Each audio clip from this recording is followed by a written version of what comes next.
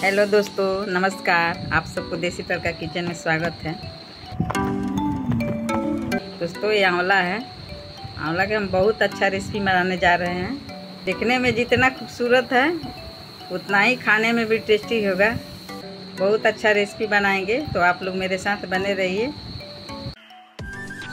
आंवले को सबसे पहले हम क्या करेंगे? एक कांटा वाला चम्मच से थोड़ा थोड़ा दो तीन जगह इसको होल करेंगे।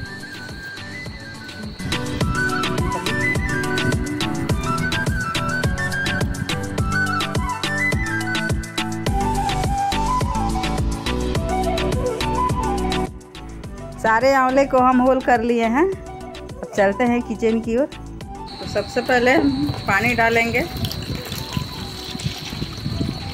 ये चूना है पीला चूना। इसको पानी में मिला देंगे हम। अब इसी में ये आंवला जो हम रखे हैं, छेदा करके, इसको डूबने लायक हम पाँच से छः घंटा के लिए इसको ढक के रखेंगे। चूना में डुबाने से फ़ायदा यही होगा इसका जितना भी कसापन है, सब दूर हो जाएगा। अभी से देखिए इसका कलर चेंज होने लगा। देखिए दोस्तों, पाँच छः घंटा फुलाने के बाद इसका कलर चेंज हो गया है, हल्का लाइट कलर में हो गया है।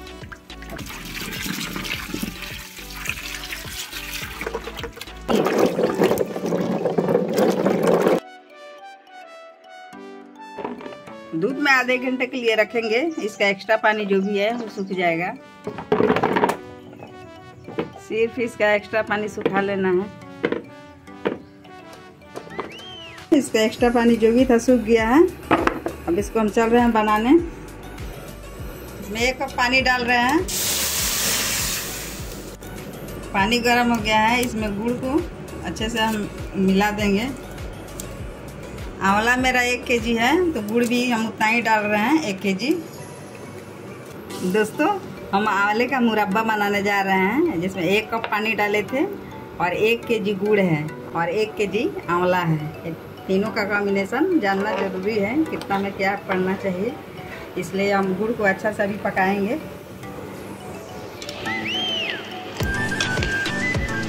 गुड़ मेरा उबल रहा है बॉयल हो रहा है। इसको ऊपर से हम इसका जितना फेन है, उसको हम निकाल देंगे। इसको छान के अच्छा से निकाल देंगे। अच्छा से बॉयल हो रहा है। इस आंवले को डालेंगे। और इसके साथ में बहुत अच्छा से इसको कुक करना है। थोड़ा टाइम लगेगा। इस गुड़ को तब तक पकाएँगे, जब तक कि ये गाढ़ा ना हो जाए। गाढ़े होने तक इसको कुक करते रहना है। थोड़ा सा इलायची पाउडर डाल दे रहे हैं। इससे टेस्ट बहुत अच्छा होगा। गुड़ जो है, एक घंटा हम कुक किए हैं। एक घंटा के बाद ये एकदम तैयार हो गया है। इसमें थोड़ा सा हम काली मिर्च डाल रहे हैं। काली मिर्च डालने से इसका टेस्ट और बढ़ जाएगा। थोड़ा सा हम काला नमक डालेंगे। थोड़ा सा जाएगा। टेस्ट एकदम उभर जाएगा। दोस्तों, देखिए, हमारा लजीज मुरब्बा बनकर तैयार हो गया। और सेहत के लिए इतना फ़ायदेमंद है, आपका आँख का रोशनी भी बढ़ाएगा, बाल झड़ने से रुकेगा, पेट ठंडा रहेगा, पेट साफ़ रहेगा। बहुत ज़्यादा फ़ायदेमंद है, इसलिए आंवले का मुरब्बा मुरब्बा खाइए। मेरी वीडियो अच्छी लगी हो तो लाइक करें अगर चैनल पर नए हैं तो सब्सक्राइब करें। फिर मिलेंगे अगले वीडियो में। तब तक के लिए धन्यवाद।